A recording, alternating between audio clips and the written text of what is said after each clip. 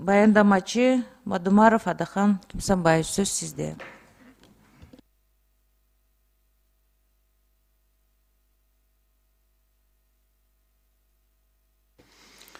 рахмат урматтуу кесиптештер баарыңыздарга белгилүү болгондой январь айынын аягында кыргыз республикасындагы адам укуктарынын абалы жана маалыматтык саясат маалымат коопсуздугу жөнүндө маселе көтөрүп парламентте ушул жогорку кеңештин залында каралса болгон чечимдерди кабыл алсак деген сунушту киргизгенбиз жогорку кеңеш колдоого алып күн тартибине киргизилип буюрса эртең төгөрөк столдун алдында турабыз төгөрөк стол болот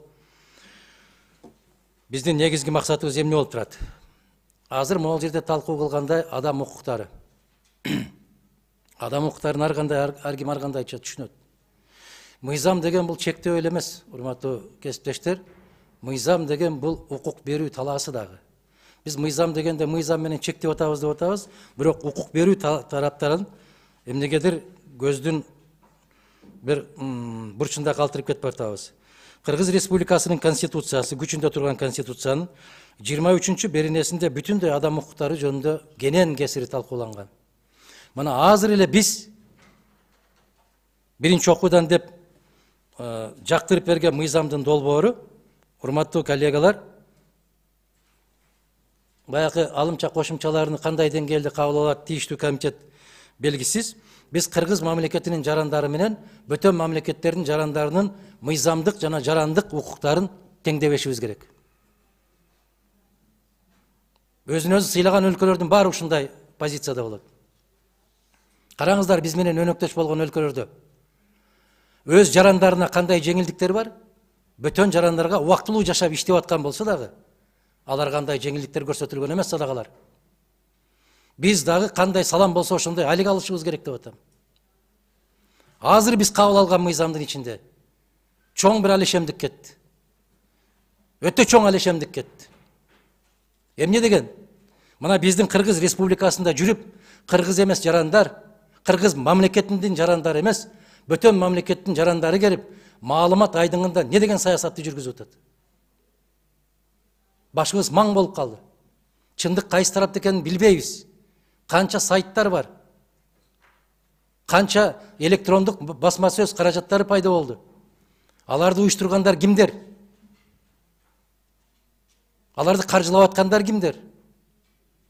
Егер де біз ошоның басшысын алган алған болсақ 48 сааттан ашық қармай албайбыз деп атабыз демократиянын бешиги болгон американы карап көргүлө канчалаган орус жарандары кармалып турат жылдап жылдап кармалып турат караңыздар өзүңүздөр биз кыргыз республикасында демократиялык өлкөбүз деп өлүм жазасына каршы чыгып өлүм жазасын алып салганбыз аны балчайтып конституцияга дагы киргизип алганбыз демократиянын бешиги болгон американы карап көрүңүздөр канча штатта өлүм жазасы бар?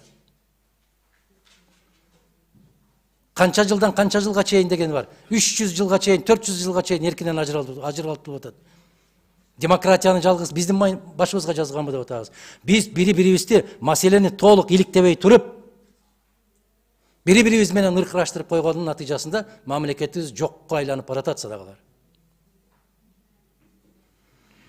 ошондон улам болгондо дагы азыр аткаруу бийлиги тарабынан үч мыйзамды бириктирип массалык маалымат каражаттары боюнча бир мыйзамды жаратуу боюнча ушундай концепциясы иштелип атыптыр ошонун алдында ошонун алдында биз бир төгөрөк стол уюштуруп массалык маалымат каражаттары боюнча кандай болуп атат адам укугу боюнча кандай болуп атат чыркыратып мына жерде азыр айттыңар өкмөттү колдоп коюш бул баарыбыз жакшы көрөбүз өкмөттү колдоп койгонду кимиңиздер айтасыздар чыркыратып эч кандай тиешеси жок бир азамат жигиттерди же кыздарды кармап алып барып үйүн тинтүүгө ким уруксат берди үйүн оодарып бала чакасын көчөгө кууп чыгып үйүнүн баарын оодарып сандыктарынан бери оодарып төккөнгө ким уруксат берди кайсы мыйзамда бар садағалар? Айткыла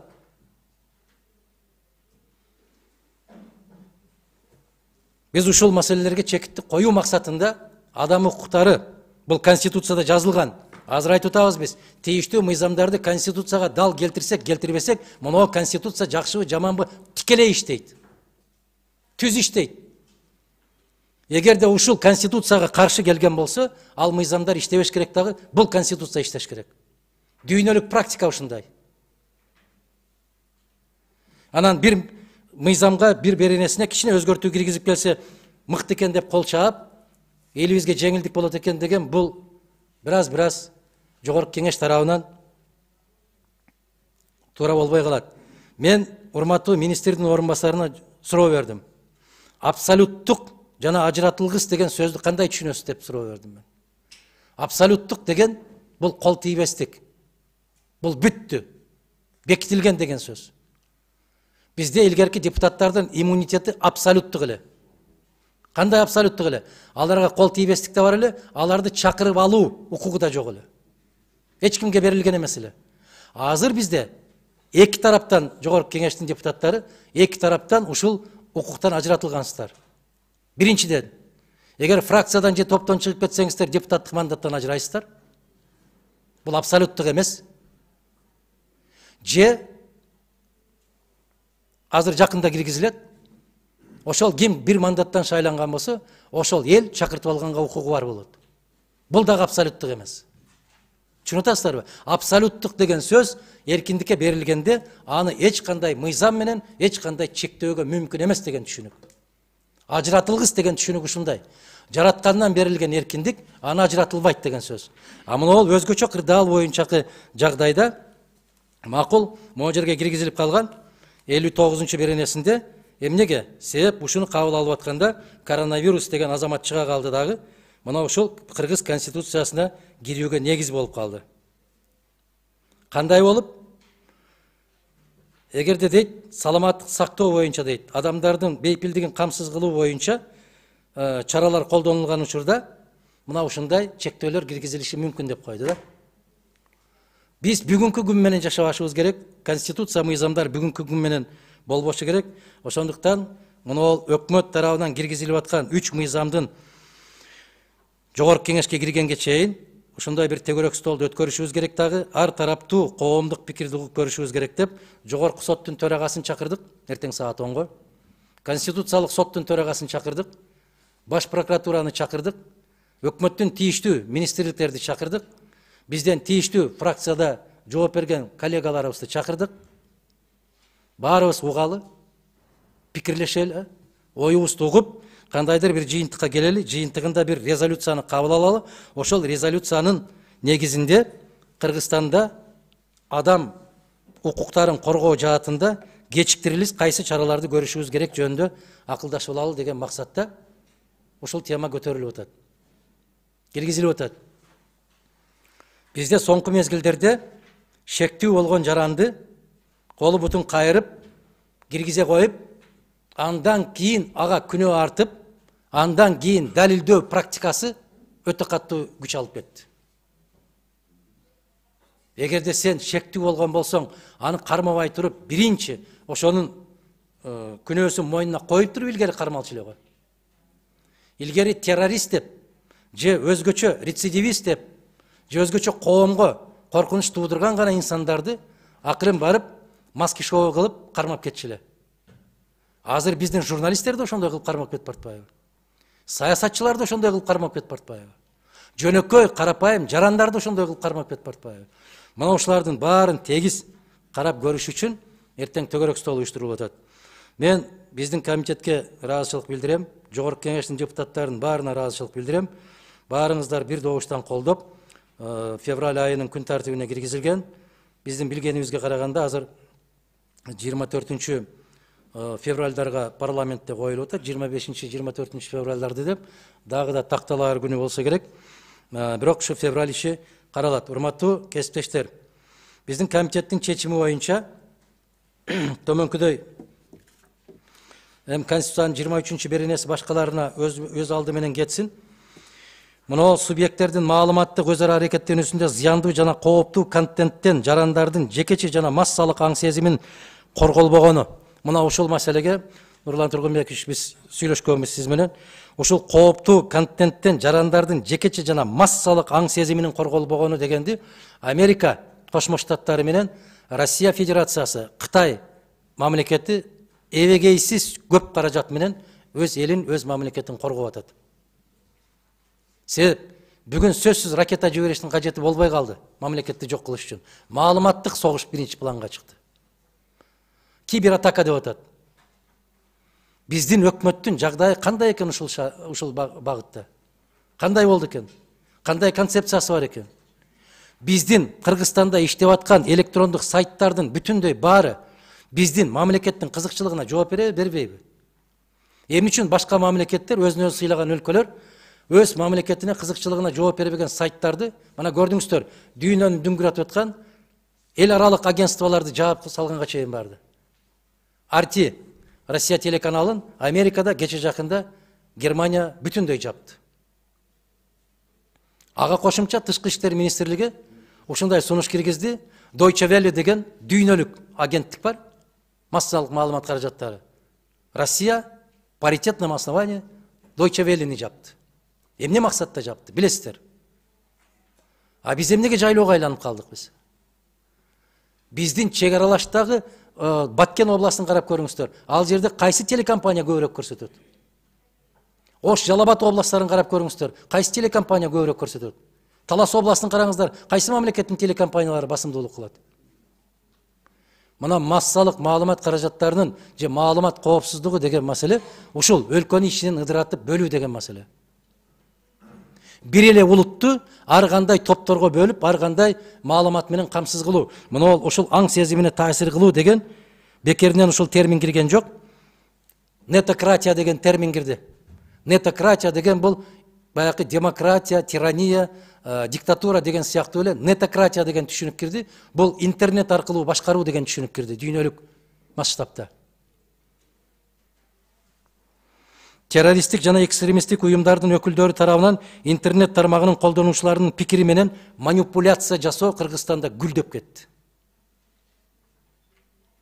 А биз болбогон бир кичинекей нерсени ортого таштап коюп ырылдашып бири бирибиз менен айтышып аткан мезгилде дүйнөлүк глобализация саясатында чоң өзгөрүүлөр кетип баратат туугандар. Кыргыз республикасынын чек арага жакын аймактарындагы калкка чектеш мамлекеттердин теле жана радио каналдарынын тийгизген таасири жөнүндө сөз кылалы деп атабыз ошондуктан кээ бир райондордо эгемендүүлүгүбүздү майрамдап атканда биздин президентибиз деп башка мамлекеттин президенттерин атаган окуучуларыбыз чыгып атат эң соңунда айтаарым мына тиешелүү жоопкерчилик тармактык мыйзамдарда кылмыш жаза кодексинде укук бузуулар жөнүндөгү кодекстеринде жана башка аныкталгандыгын белгилей кетүү мындай бир абзел деп биздин комитетибиздин корутундусунда жазылып атат. Мына ушул укук бузуулардын башында эмнелер тургандыгы жана себептери жөнүндө сөз кылалы деген максатта ушул теманы көтөрүп атабыз. Эртең төгөрөк столдо биринчи кезекте баяндаманы өкмөт дагы жасабайт баяндаманы жогорку кеңеш да жасабайт баяндаманы жарандык коом жасайт жарандык коомдун пикирин өкмөт да угат жогорку кеңеш да угат биз өзүбүздүн юридикалык баабызды кудай буюрса эртең беребиз ошонун натыйжасында бир биргелешкен үч тараптуу аткаруу бийлиги мыйзам чыгаруу бийлиги жана жарандык коом биригип бир резолюцияны кабыл алып ошонун негизинде баягы массалык маалымат каражаттары жөнүндөгү концепция ошол резолюцияга туш келтирели деген максатта өткөрүп атабыз. Суроолор болсо жооп бергенге даярмын. Чоң рахмат урматтуу депутаттар. Суроолор жокпу? Адакы кимсамай сиздин чакырууңузду алдык. Буюрса эртең иш чараңызга барып катышабыз биз дагы суроолор жок болсо мына комитеттин чечими сиздердин колуңуздарда ушунун баарын окуш керек. Сіздерде бар да баары таратылып берилген абдан олуттуу туура маселелер белгиленген урматтуу депутаттар бир бир нерсеси